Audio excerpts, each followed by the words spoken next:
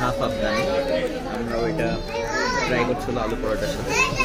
প্রথমটা ছিল অসাধারণ, যেটার নাম ছিল চিকেন ভর্তা।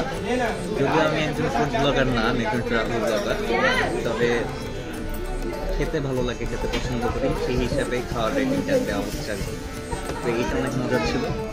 আর এইটা আমরা যেটা ট্রাই করছি সেটা হলো আফগানি চিকেন আফগানি। চিকেনের পিসটাকে সুন্দর করে ম্যানেজ করা এবং ফ্লেভারটা খুবই অসাধারণ। আমরা বাকি রিভিউটা খাওয়া দাওয়া শেষে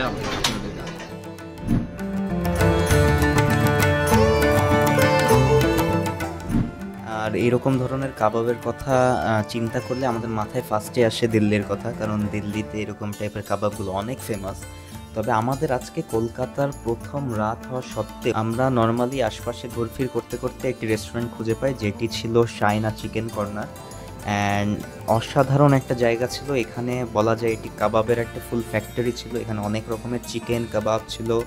অনেক ধরনের অনেক কোয়ালিটির কাবাব ছিল, যেখানে আর কি no beef only chicken available ছিল। এবং আমরা সেখানে সেই কাবাবগুলোর মধ্যে দুটি কাবাব ট্রাই করি এবং সেইখানের মূলত ম্যানেজারটা আমাদের পেছনে যে ভাইয়ারটা ব্ল্যাক শার্ট পরে ঘুরছেন, উনি এখানের ম্যানেজার ছিল এবং উনি খুবই আন্তরিক ছিলেন।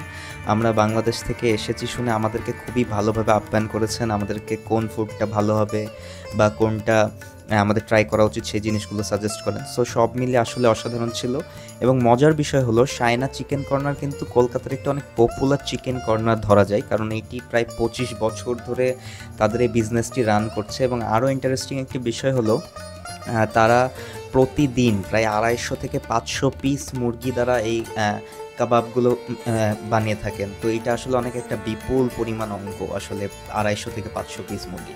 সো সব মিলে ইন্টারেস্টিং ছিল এবং প্রথম রাতের আমাদের এই ডিনারটা আসলে অনেক সুন্দর ছিল। এবং ধন্যবাদ আসলে সাইনা চিকেন কর্নারকে, তারা অনেক হেল্পফুল এবং ওই ভাইয়ারটা আসলে অনেক হেল্পফুল ছিল। সো এই রেস্টুরেন্টটির অ্যাড্রেস আমি আসলে আমার ফেসবুক পোস্টে অথবা কমেন্ট সেকশনে ফুল অ্যাড্রেসটা মেনশন করে দেবো। আপনারা যখনই কলকাতায় ঘুরতে যান, অবশ্যই এখানে চিকেন চিকেন কাবাবগুলো ট্রাই করতে পারেন, এগুলো খুবই সুস্বাদু ছিল। আর যেহেতু আমি একজন ট্রাভেল ব্লগার সেহেতু আমি নর্মালি খেতে অনেক পছন্দ করি। অনেক খাই না, আমি পাতলা সাতলা মানুষ, তবে খাওয়ার টেস্ট করে দেখতে আমার অনেক ভালো লাগে। সো আমার কাছে মোটামুটি সবগুলো অনেক সুন্দর লেগেছে, বিশেষ করে চিকেন ভর্তা যেটা ছিল, সেটা অসাধারণ ছিল।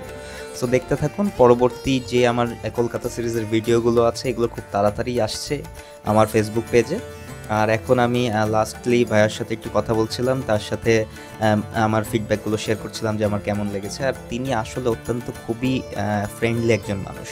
তো কলকাতায় আমার ভ্রমণটা ছিল খুবই অসাধারণ আর আমার এই কলকাতার এক্সপিরিয়েন্সগুলো দেখতে অবশ্যই পেজের সাথে থাকুন এবং ফলো করে আমার পাশে থাকুন নতুন ভিডিওগুলোর আপডেট পাওয়ার জন্য। দেখা হবে নেক্সট পার্টে